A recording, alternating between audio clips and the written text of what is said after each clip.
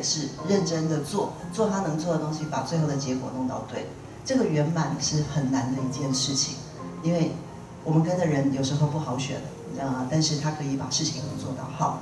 那这个是一句很重要的话。另外一句话我也觉得傻眼，他说。教书是演艺事业，现在完全正确，你知道吗？直播的，对，那每一行每一业都是有。对，每一行每一页哦，原来这样是，大明星好，奥斯卡金像奖得主。真的不容易的。那我自己后来当老师，我就就觉得我干嘛要当张小燕呢？那我，然后后来就发现我干嘛当胡瓜的？啊，那不过这个的确帮助很大，因为他讲到一个重要的精神，就是不只是要把知识带出去，要有机会让别人可以接受的方式把知识带给人家。那就像。嗯，有一个嗯，我很喜欢的老师在 TED 上面讲过，他说一个孩子没有办法从他不喜欢的人身上学到东西，所以后来发现演艺事业的确蛮值得学习的。OK，那然后韩老师他他的印象是，我对他的印象第一个印象就是他高高的、帅帅的，然后这边有一撮白头发，那不知道为什么就搓那一就就是白那一撮这样，然后他很喜欢写板书。他写起来就慢慢写，而且一个字一个字都要写的，刚刚讲的细节的，他很他很细致的，然后就要写的慢慢写，写完以后要英文念一遍，哇，这完全是哇，这个小女生就坐在下面看，哇，这老师好厉害，哇哇哇，好，那那很谢谢韩老师的教导，呃，他跟韩他跟师母之间非常非常好，然后是一个非常。棒的典范，他们每一年都牵牵小手，自己出去玩，就是没有带小孩。这件事情非常难得，尤其我有三个小孩之后，我发现小孩子根本丢不掉的东西。然后他可以，我就我就忍忍不住问他说：“韩老师，你几岁的时候开始把小孩丢着，就两个人自己出去玩？”他说他只有一年，那个老婆怀孕，真的是没有办法这样子出去玩。他每年都这样出去，然后就牵牵老婆的小手，两个人很幸福的出去。所以那时候我在长荣教书的时候，我也是每年都会邀请韩老师到台南来跟同学们分享。他一定带着老婆来，一定带着他同事去玩。然后这是让我觉得很感动的地方哈。他对师母非常非常好，他也对学生非常非常好，而且他很喜欢用手写信，那写起来都是温度。虽然很多时候我会拿着信再回去看，问老师：“老师，这个字我看不懂。”韩老师字有时候有一点点吵，可是这个非常飞舞的漂亮。好，那嗯，好，还有很多可以讲的哈。那另外一个就是在跟韩老师呃一起写那本书的时候，其实那本书百分之九十五都是韩老师写的。那我唯一就是拉一下，说不要骂这么多啦。那里面对于目前的呃 DRG 和 email 上面也有非常多看法，然后所以。呃，我做一点点，可是大部分的时间后来都是在跟韩老师说话。那听韩老师讲，他一个很大的不舍就是他说，师母那时候是私奔跟他出来，所以他一直照顾他。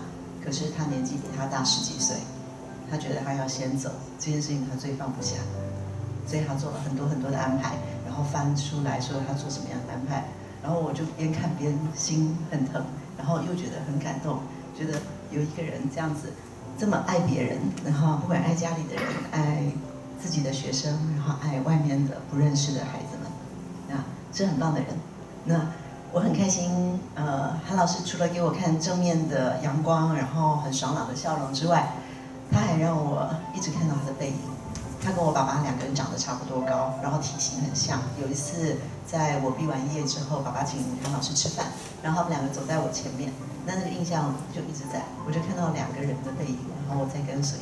那我觉得看着前辈，然后这些典范往前走是很幸福的一件事情。看着别人的背影，然后我们跟随，然后把他们留给我们的爱跟勇气传出去。好，以上。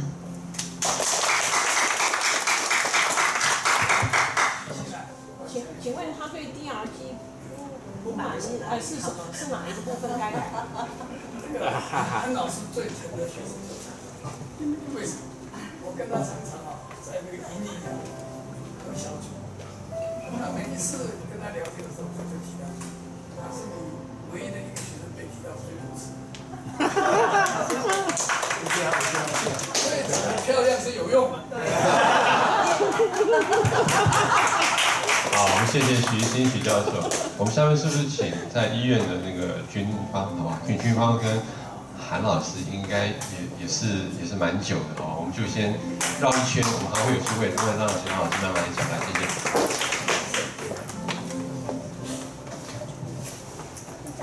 也很不好意思，呃，现在先出来讲，其实还有很多呃师长学姐、学长姐。那呃，就是今天很开心可以在这里分享我的呃想感想哈。那我是在八十三年就是进我们呃医管所，那也是在那一年就是考上高考，所以也同时分发到就是台大医院的企划室，就是我们韩老师那时候是当主任，对，所以我想应该是有，的学生他有特别照顾，所以我才进得来这边哦。那因为同时要工作嘛，然后也要呃念研究所，所以大家可以知道韩老师对我放水多少。因 不不是应该不是学业上的啦，因为是工作上，等企划师的工作他就安排少一点让我去呃负责哈。所以那时候呃实习也是，就是那时候呃应该是暑假的时候要去医院实习，对。然后我也申请在台大医院的企划室实习，那那就是有点就是呃，见就是有点便利啊。那不过呢，我我还很印象深刻，那时候呃杨老师是所长，所以他觉得这个像做的好像有点不太不太对哈，怎么会在台大医院企划室工作，又申请在台大医院企划室实习？对，所以。这点我是真的很不好意思，对，那韩老师也帮我解决了一些问题啊，让我可以继续呃工作，又把学业完成。啊，那我就是因为也跟韩老师在企划室当他的部署，呃，好几年的时间哈，所以跟他的接触是非常长。好，那他在企划室带领我们，我们在台大医院其实都觉得呃走路很有风啊，因为他是。就是不合理，他会去拍桌的人哈，那所以我们在医院就觉得，哎，我们其实还推的推的那个计划，觉得都还很顺利哈。那不过我们呃今天才知道台大医院就是有这么多的秘辛啊哈。对，我们在他手手下，他大概不会跟我们讲这些，我们因为他在我们心中是很就是很崇高。然后就是要呃，就是听他听他指指导那样。那我们当时只要帮他可以那个打字就很开心的，呃，因为他他他会就是写很多文章，然后要我们帮他打打字，所以只要是谁可以被他 assign 到帮他打字，就会觉得哎，今天很开心的。所以呢，我们也练习，就是也很多知道他的那个，就是像刚刚徐徐新学姐讲的。他的字有些吵，所以我们都像我就已经练就到他的字，我都猜得出来是是什么了。对，那呃，所以就是一路上受他指导。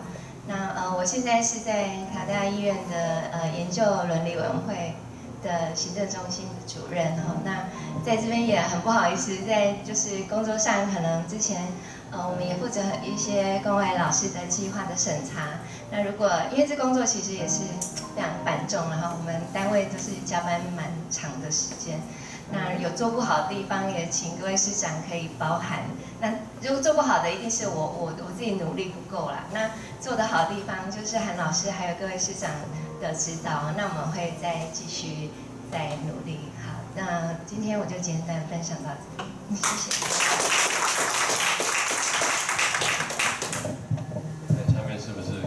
詹秀学姐，好吗？那我们请那个王慧雪王教授，长庚的王教授。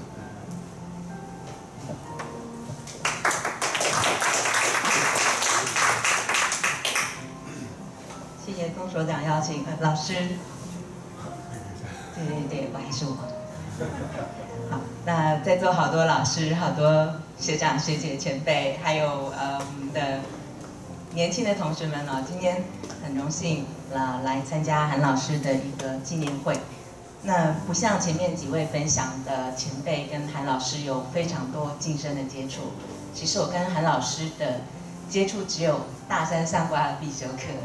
然后那时候刚好是台大院整件最忙的时候，坦白讲，老师也没有办法每一堂课都来跟我们上，所以他也邀请了很多我们现在俗称的夜师。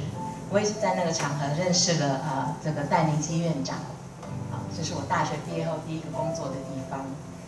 那么韩老师虽然跟我们上课的时间没有那么多，但是就像前面好几位分享的，他有言教也有身教。那我很幸运的是。虽然跟蓝老师的近身接触不多，但是我医院的民间友人蛮多的，所以就经常有机会听到医院的朋友们谈到韩老师的呃言行举止，都非常的令人佩服哈。我想在那样的环境里面，呃，威胁利诱都是有的，骗子其实没什么大不了的。所以，其实，在很多的利诱之下，他还是能够坚持本分，这个相当的不容易。当然，在那样的一个位置，拥有这么多的资源，能够不受威胁，更不容易。那老师是法律的背景，所以他非常清楚自己该做什么，要做什么，每一步都走得很稳。我觉得这是他对我最大的身教。那么，呃，我实在没有资格去评论老师的一个生平哈。那容许我借用戴林基院长的一句话：戴林基院长来台湾，啊，协助台安医院的一个新建，不小心一留就十二年。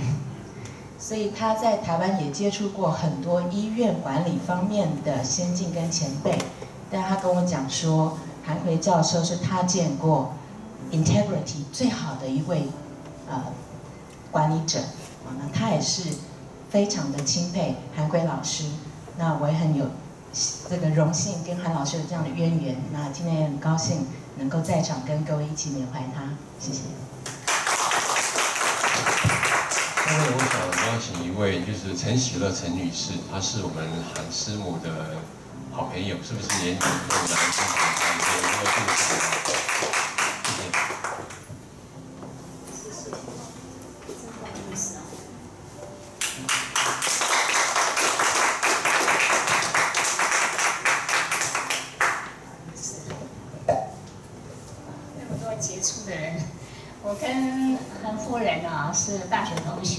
我记得那时候我跟他最好，那我也接受韩教授的帮助，因为那个时候，我们那个时候读书都，哎都蛮穷的，然后那时候他就知道我没有工作，所以他也安排我在那个秘书室，我做了一段的工读生。那那我的同学非常善良，非常温柔，也很美丽。但是我觉得我很幸运，成为他在大学时候最要好的朋友。但是呢，我一直记得他帮助过我，而且我们也是最要好的朋友，最要好的同学，最要好的朋友。可是后来我们就失联了，因为大家都各忙各的。但是我的印象很深刻，就主要是韩夫人。那韩教授我们也接触一段时期。我最记得我，我实在是非常的笨。哎，当初韩教授好像是明天就要出国去，就是到那个明尼苏达州去念书。那时候我不管在他们家啊，还是那韩夫人就抱着娃娃，带他的长子，那他很伤心，很伤心。我不晓得说什么话，韩教授说：“陈喜乐，有什么不牵连我我太太，好好安慰她。”哎呀，我太笨了，我现在真的很遗憾，很后悔。不好意思，我讲到这里，谢谢大家。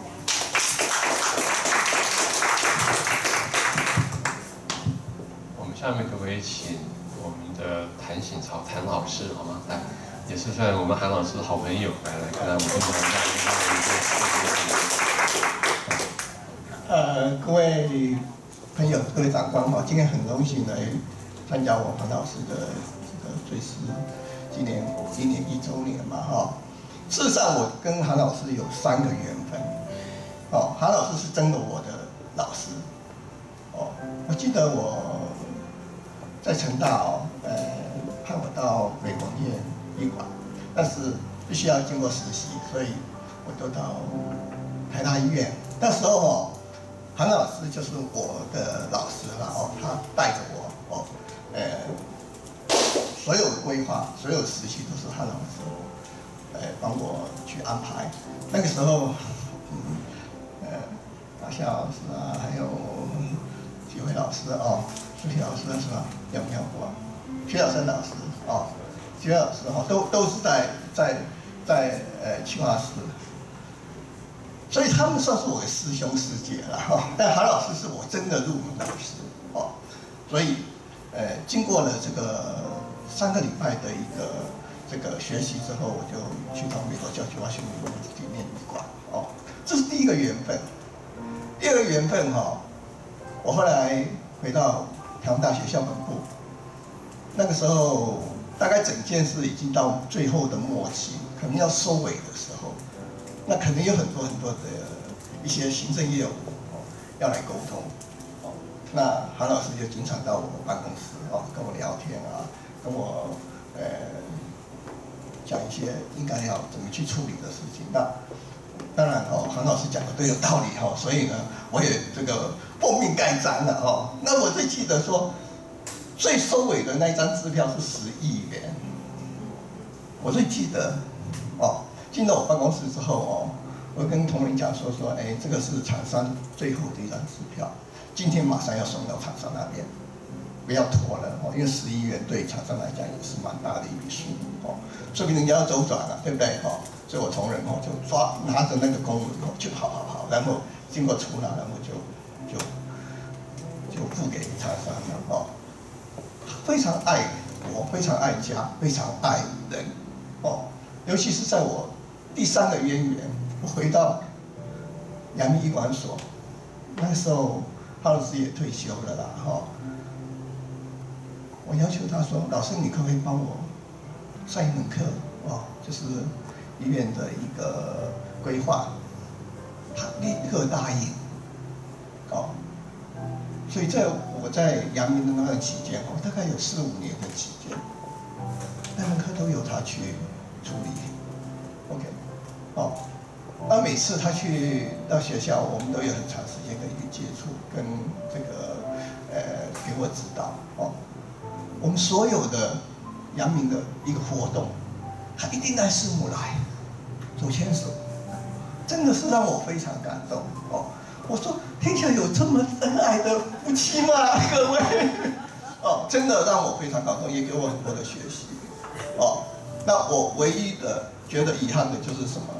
说，后来我离开阳明到了南部，哦，我一直想要跟师母啊、老师啊这个去去吃饭，哦，结果后来老老老师可能也没有办法，哦，就出来了，哦，所以这是我最大的遗憾。但是我非常非常怀念他，哦，我也非常幸运有这个机会，哦，能够在台大医管所，哦，台大工会所，哦，服务过，哦，同时，呃，给我上一点课，哈，让我。有更多的学习，我想我非常欢迎他，也谢谢各位，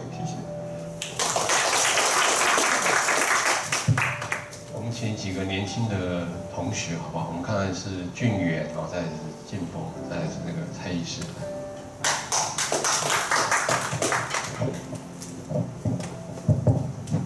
啊，各位师长、各位学长姐妹、学弟妹，大家好。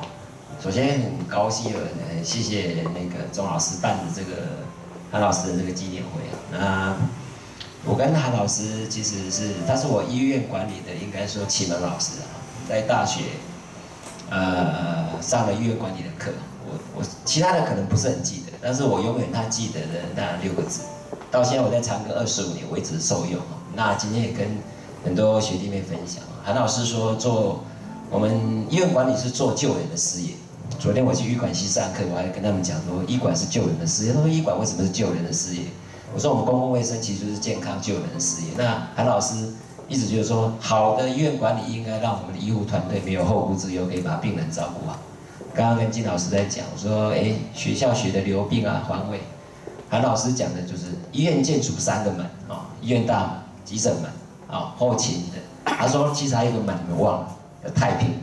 所以这些的资料，其实在我现在在长庚工作二十五年，不管在医院的建筑，刚刚在跟金老师讲，在做感控流病，其实都受用无穷。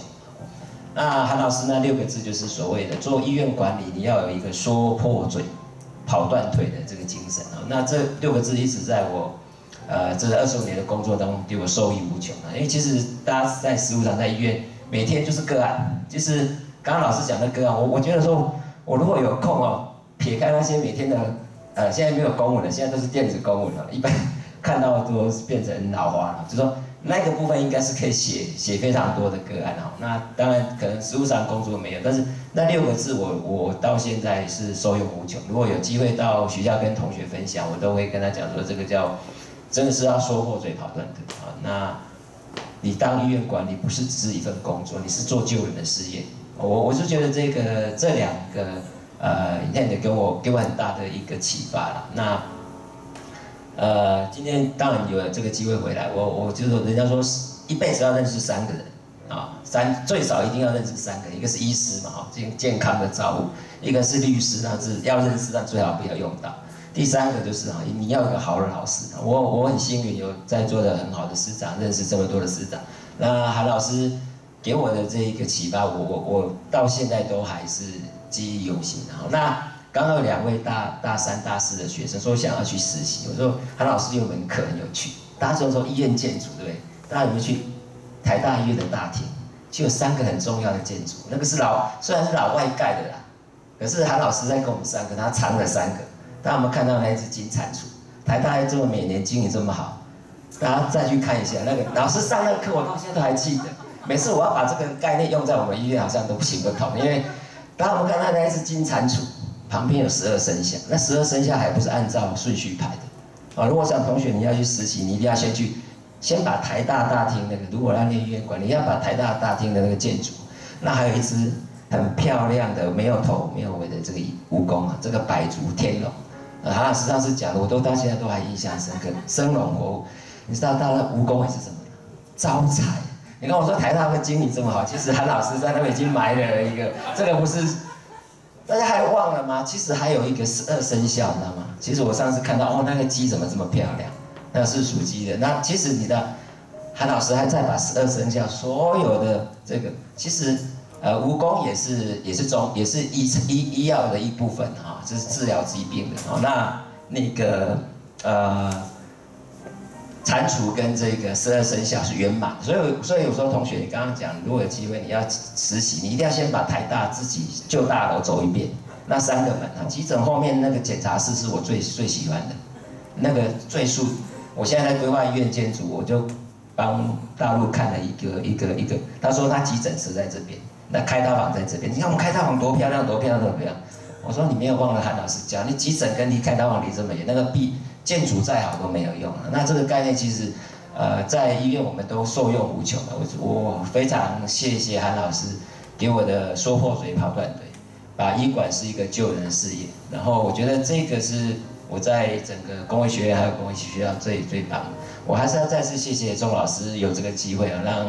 呃，我可以听到以前认识韩老师都是从课本上，从他的著作上课。那今天我非常感谢，我从各位师长老师，我更认识一个伟大的，刚伟大的韩老师啊。刚刚杨振老师讲的，他这样捐给这个学校，默默的这些做的不为善不为人知的这个事情，让我更敬佩我的永远的韩老师。谢谢大家，谢谢。我是不是请那个江庆波？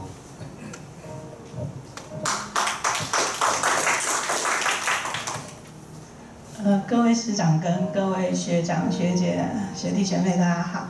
其实我今天是没有准备任何那个呃要说的话，但是呃，我我来到这边呢，就是有想到，就是我以前在刚来念书的时候，我其实我们只有上老师的一门课。上完之后呢，就是接下来就是我我我们班只有一个同学是老师的这个弟子，就是跟跟着老师做这个研硕士论文。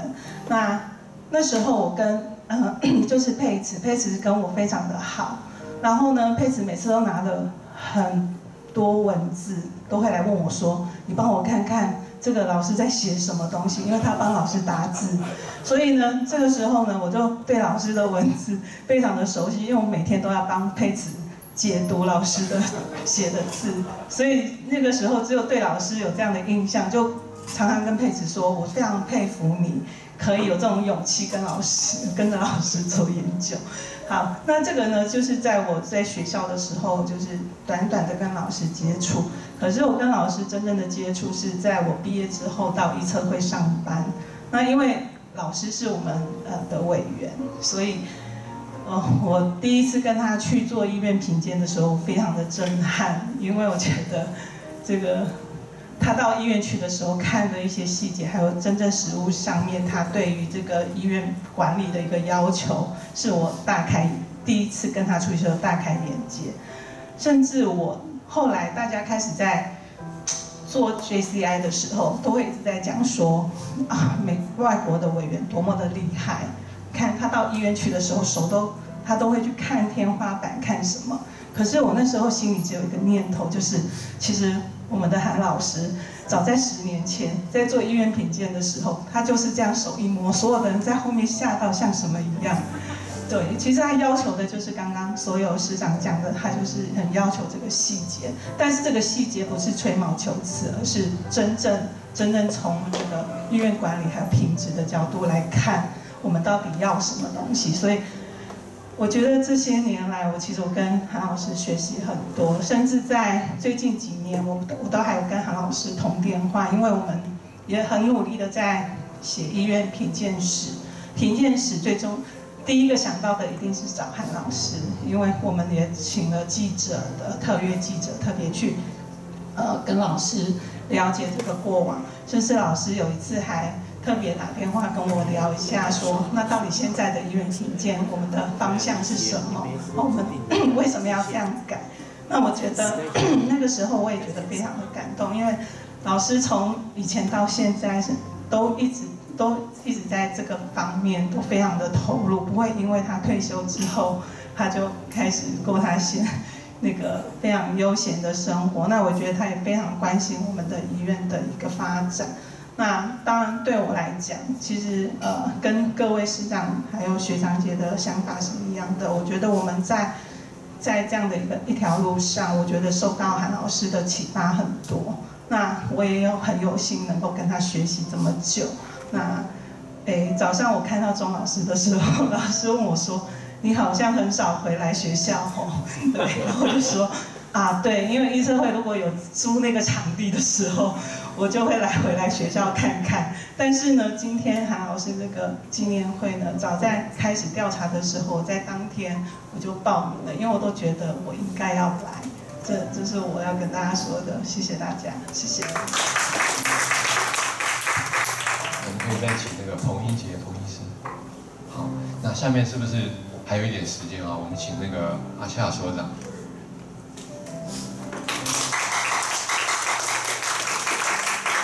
自己留到最后。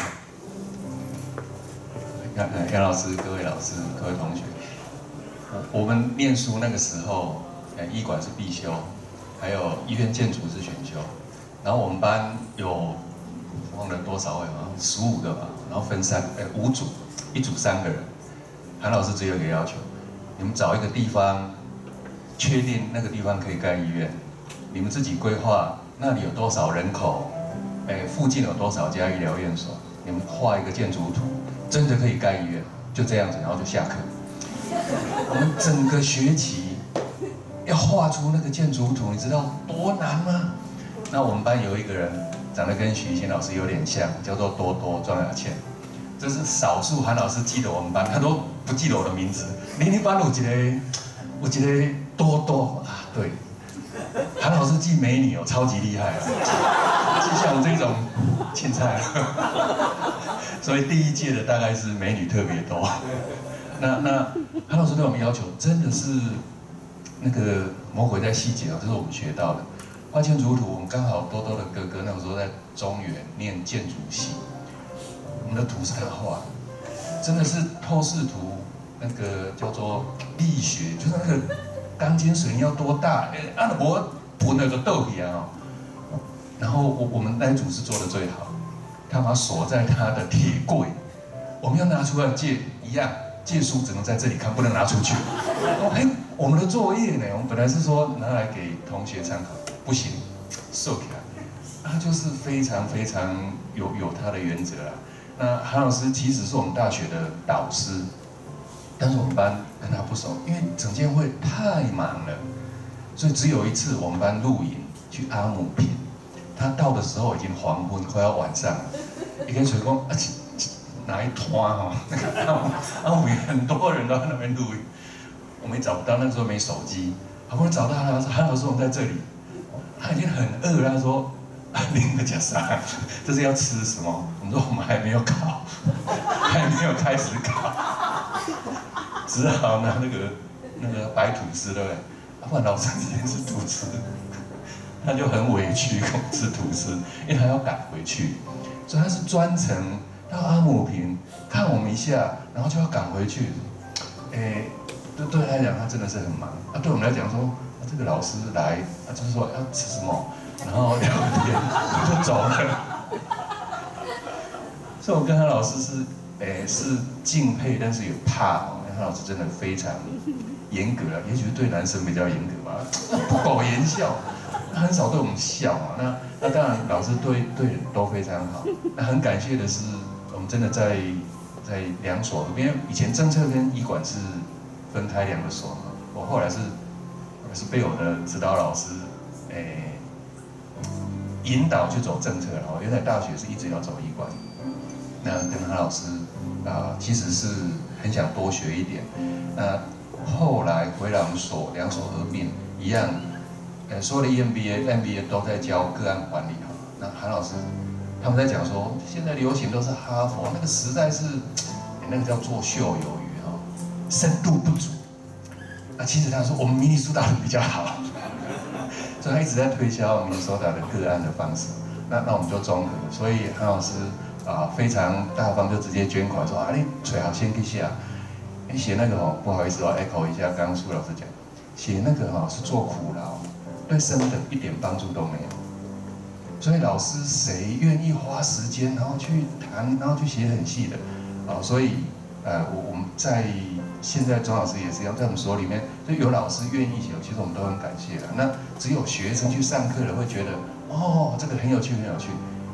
其实学生也不会知道说，啊，那个个案不是买来就可以了，其实是老师很花时间。就像韩老师，他要上我们建筑的课，他一开始就会拿几个很漂亮，哦，人家可以做那么漂亮，原来那个都是好几届才有一个这样哦，累到半死。啊，就是有这种老师带队那。那个时候，黄家金、谭开元，哎，张主，其实他们真的就是医馆的大佬。但是韩老师是最低调，他是法律系毕业。那法律系毕业去弄建筑，那那种感觉就是跨。所以韩老师在那个时代，其实他教我们很多东西。他现在已经分好细了。哎，医院的后勤是一个课，医院财务是一个课，医院什么课？那个老师什么都要会。那我想说，我们在学校教书。到一个程度还好了，现在合回来了，叫 Capstone 啊，Capstone course，所以变成是原来一个老师什么都会，我们的老师啊，杨老师也什么都会，要不然你问问他。